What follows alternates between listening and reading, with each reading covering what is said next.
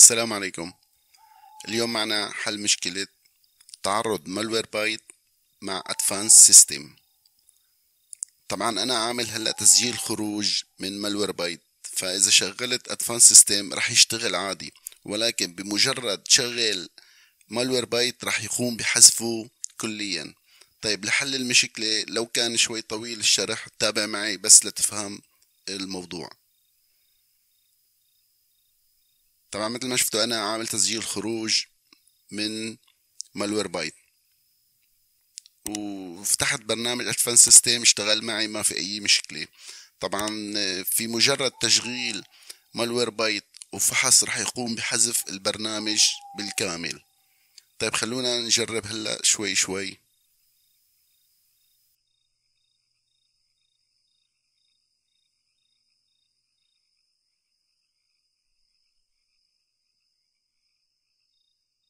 كان الشرح طويل خليك معي بس لتفهم. طبعا طبعا هذا بينطبق على جميع البرامج يلي أنت تثق فيها.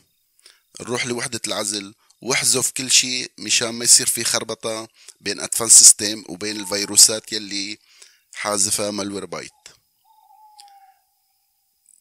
بنروح للأعدادات بعدين استثناء. بعدين إضافة استثناء بعدين ملف أو مجلد استثناء ملف أو مجلد بعدين بنختار اختار مجلد. طبعا رح ينقلنا هو على الكمبيوتر. هلأ نحن بدنا نروح على قرص سي مكان ما محفوظ البرنامج ونروح على ستة وثمانين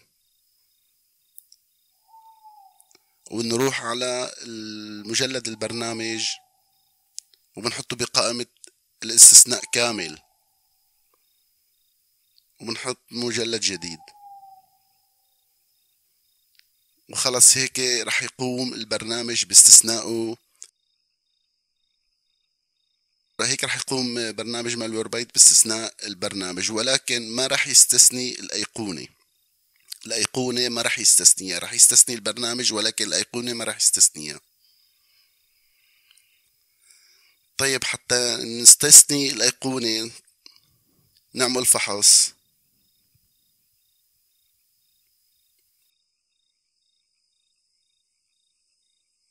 طبعا أنا عم اختصر من الفيديو حتى ما يطول الفيديو أكثر من هيك. هلأ مثل ما شفت أنت هلأ بمجرد أنا أعطيته وحدة العزل راح يحذف لي الأيقونة.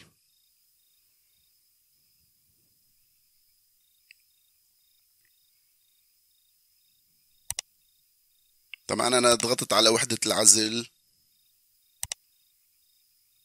طبعا مثل ما شفت أنت حذف الأيقونة ولكن مجلد البرنامج لسه موجود كامل. نرجع مرة تانية نعمل استعادة. طبعا مثل ما شفت أنت ردينا استعدنا البرنامج. هلا نعمل فحص.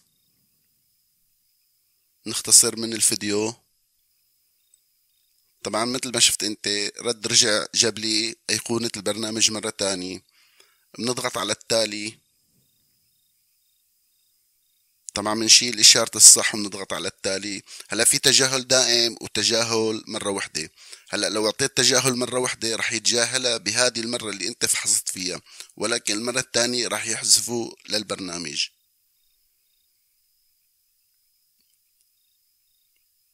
بنرد بنعمل مرة تانية فحص.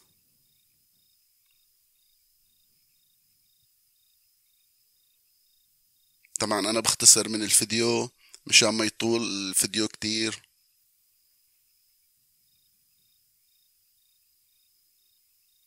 طبعا مثل ما شفت أنت هون جاب لي رقم واحد إنه موجود عندك ملف غير مرغوب فيه.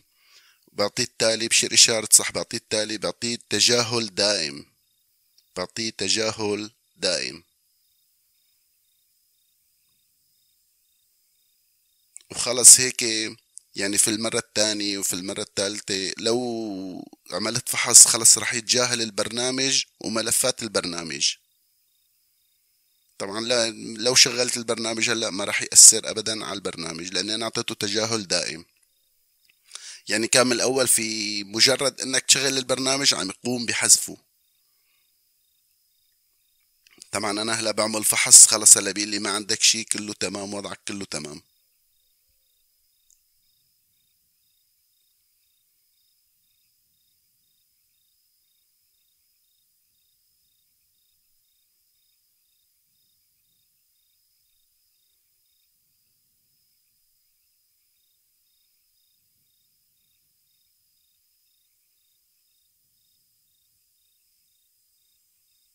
طبعا مثل ما شفتوا هلأ انتو خلص بيقول لي ما عندك شيء انت وضعك كله تمام. وهيك بيكون حطينا المجلد والأيقونة بالاستثناء. طبعا لو رحنا للاستثناء رح نلاقي المجلد والأيقونة موجودين بقائمة الاستثناء. طيب هيك كان شرحنا لليوم. السلام عليكم ورحمة الله وبركاته.